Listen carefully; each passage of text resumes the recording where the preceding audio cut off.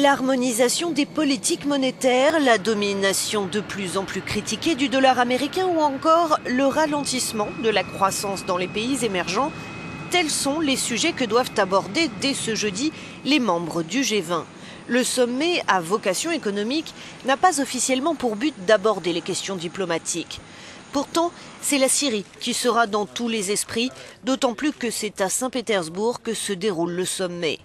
La Russie, alliée indéfectible du régime de Bachar al-Assad, n'apprécie pas vraiment le discours va-t-en-guerre du président américain. Aucun entretien privé n'est d'ailleurs prévu entre Barack Obama et Vladimir Poutine. Le chef d'État américain ne manquera pas de multiplier les rencontres bilatérales avec ses homologues français, chinois ou turcs pour évoquer la question. Et pour cause, Paris et Ankara sont favorables à une intervention militaire. Quant à Pékin, il dispose du droit de veto au Conseil de sécurité des Nations Unies.